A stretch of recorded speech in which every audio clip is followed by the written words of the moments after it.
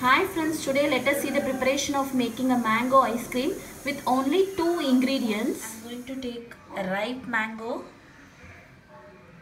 I peeled the skin of this mango.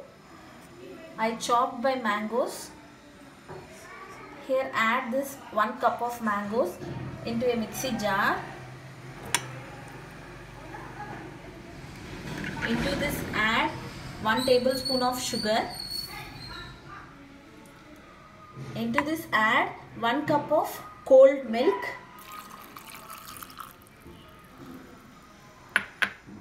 Grind this into a fine paste. I grinded this into a smooth paste.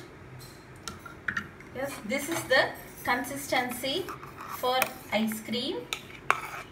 It should be silky smooth. Now I am going to transfer this in an airtight bowl. I transferred it.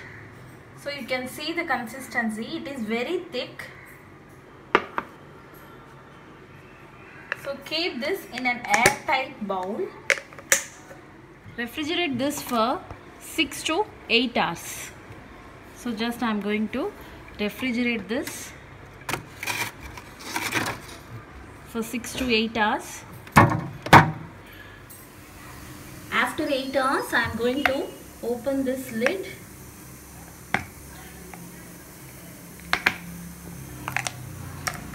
Yes. Now I'm going to transfer this ice cream into a serving bowl.